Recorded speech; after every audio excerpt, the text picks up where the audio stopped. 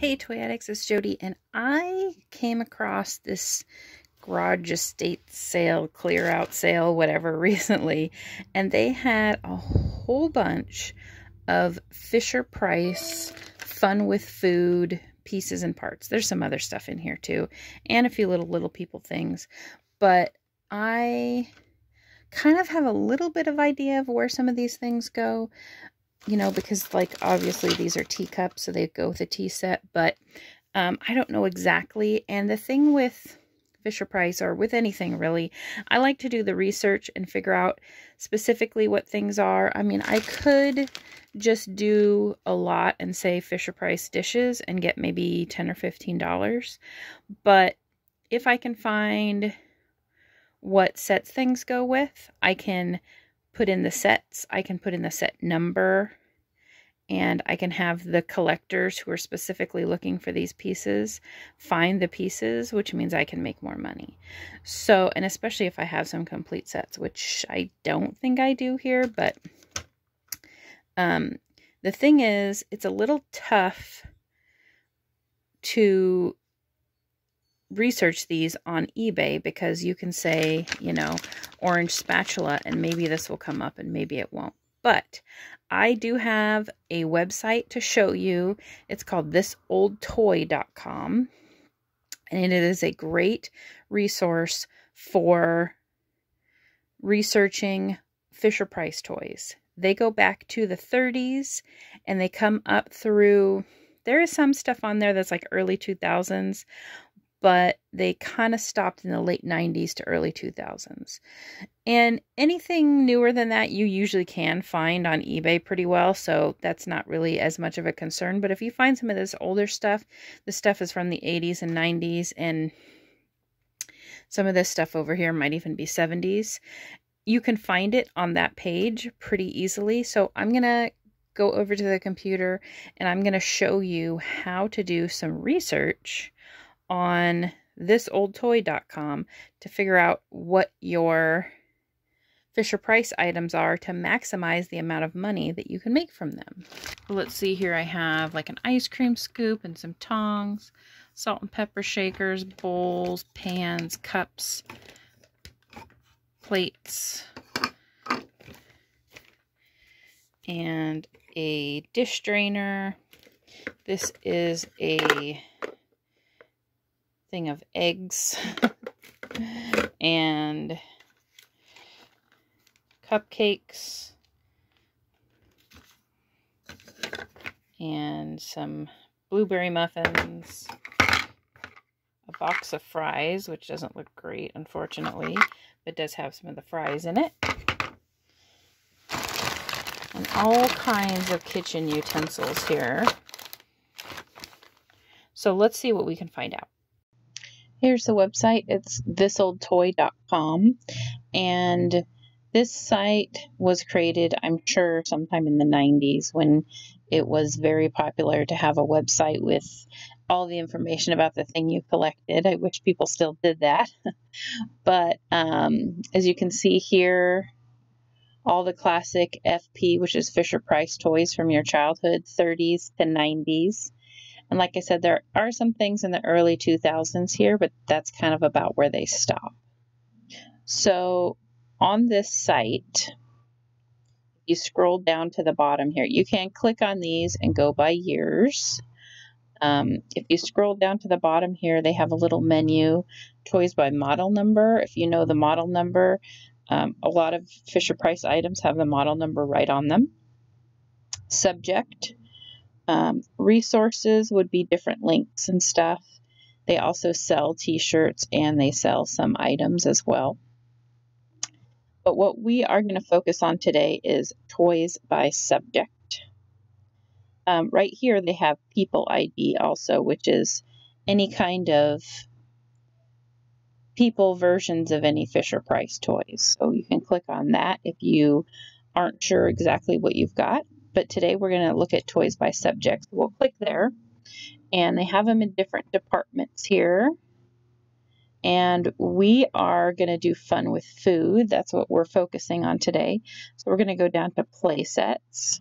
And if you just hover over it, this um, all their different aisles come up here.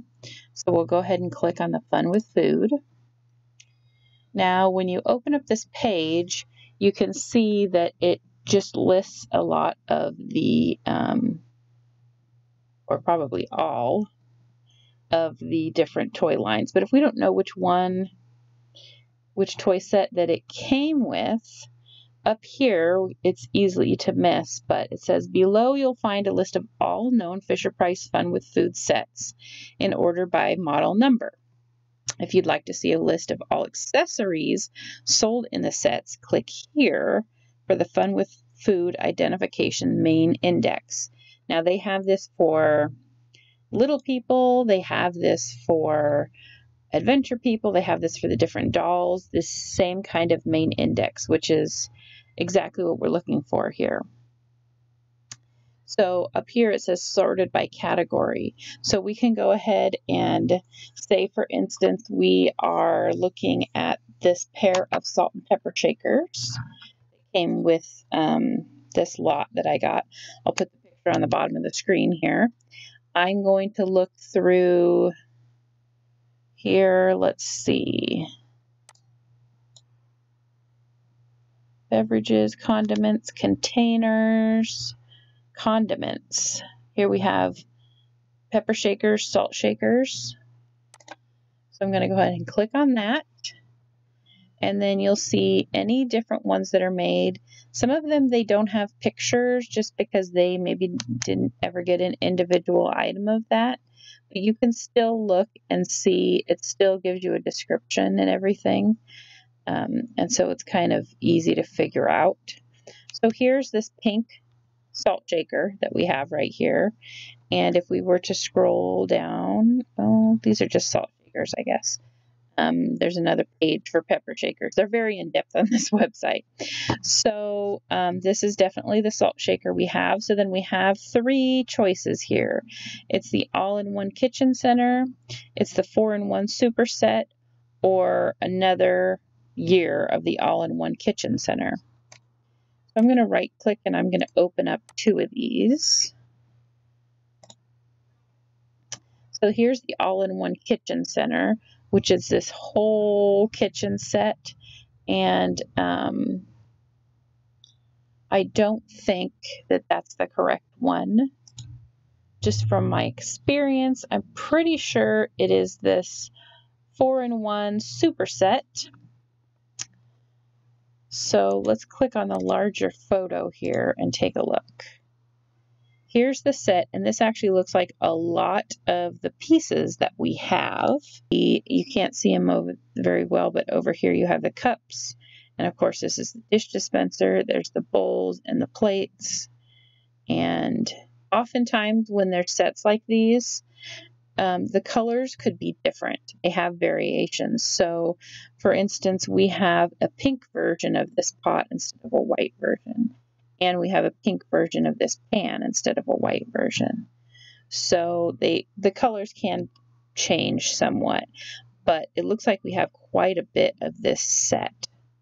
So right off the top there, I can identify a whole bunch of the things that we have just by looking at this set.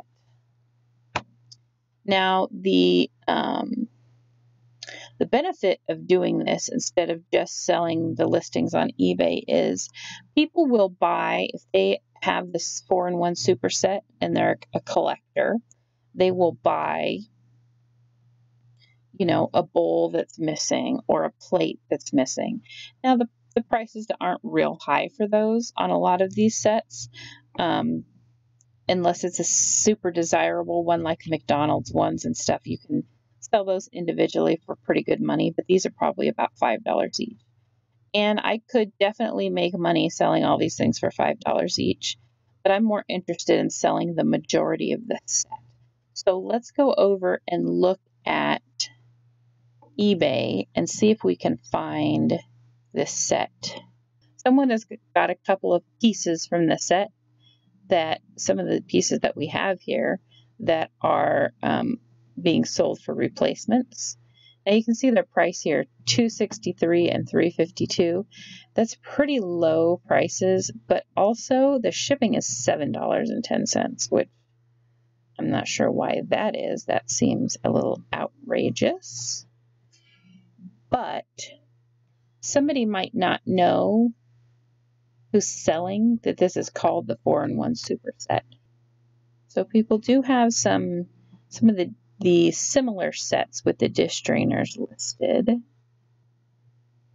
47 with some of the items that go with the dish strainer. Let's see what the solds are.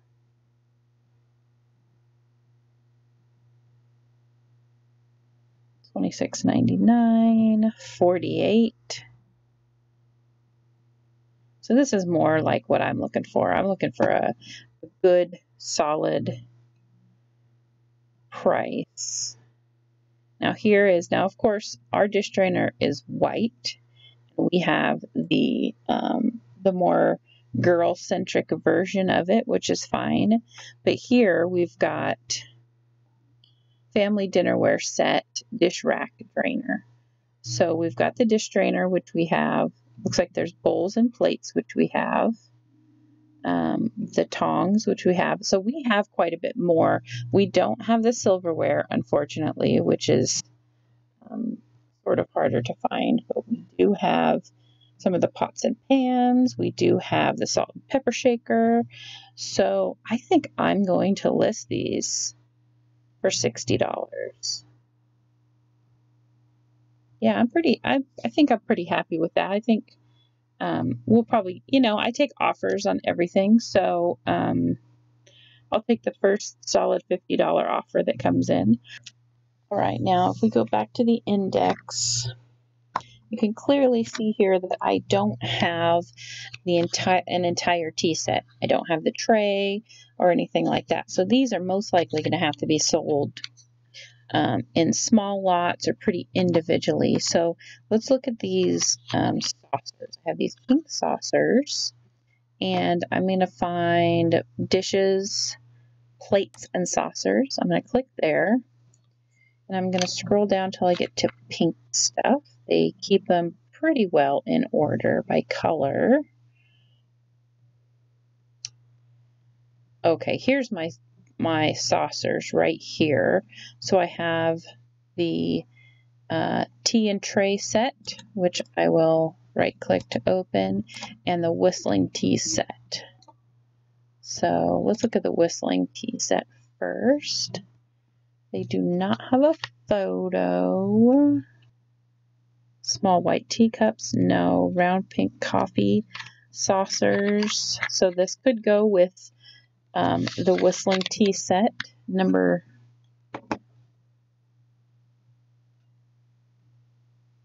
number 2130. So if we were to list just these four saucers on their own, um, I would put this number and this number in the title for people who are looking for replacements because we know from looking at this that these saucers go with both of these sets. So I can put 2009 and 2131 in my title for collectors who are looking to complete those sets. Let's look at a larger photo of this set. So it looks like I also have three of the teacups to go with that. I also have the two, two spoons that go with that set.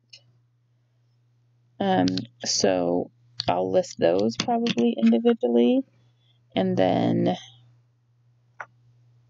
I also have the sugar bowl that goes with this set.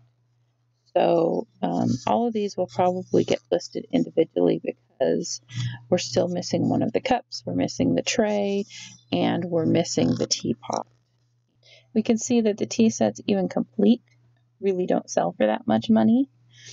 And so this is a situation where you could definitely do better selling things individually. Like right here, we can see three of these saucer plates sold for $10. and I have four of them, so I'd put them on for maybe $12. And then if I'm selling them like this, in this case, I would put both of those part numbers on here um, for the both sets. Since we're here on the site, let's take a look at a few other things that you might be researching. Let's go to the dolls and maybe look at my friend dolls. So they have, again, at the top, they've got the My Friend Doll ID. So we'll go to that and we have the dolls, the instructions, the patterns. So every piece and part they have split out on this website. All the different types of clothes, the different kinds of shoes, and everything. So let's click on dolls. And so if you find a doll like this, it's a Fisher Price doll. You can say what, you can figure out what um, doll it was. If you find a doll and maybe a bag of miscellaneous clothes that fit, you can find out what clothes they were wearing. Click on this doll and you can see her outfit, Jenny's outfit over here. So it really is very helpful website. Let's look at one more thing. How about if we do, let's look at um, the original Little People. Okay, so again, there's just a ton of things listed. But we can go to the Little People ID page animal items, building structures, furniture, hospital items. There's so many items with little people. So hopefully that helps you to identify some of your older Fisher Price items and kind of help you figure out how to sell them and get the most money for them. Thanks for watching guys. Make sure to comment, like, and subscribe. If you like these reseller content videos, I've got lots of other ones. You can look on my um, reseller playlist and watch lots of other fun videos that um, have some hopefully helpful information. See you next time.